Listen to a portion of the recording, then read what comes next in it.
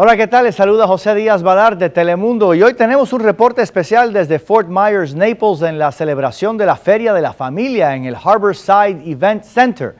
Ahora vamos directo desde la celebración con nuestro reportero local de Telemundo Fort Myers, Naples y lo último en el clima.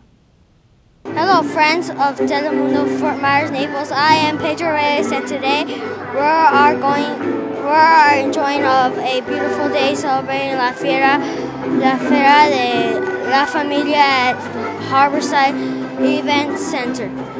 With great weather, perf- perfect for all of the join to join us well, lots of sun, little clouds, and a high of 88 Fahrenheit. It's going to be a, a breezy day, and for this evening, we will see a temperature of 73 degrees.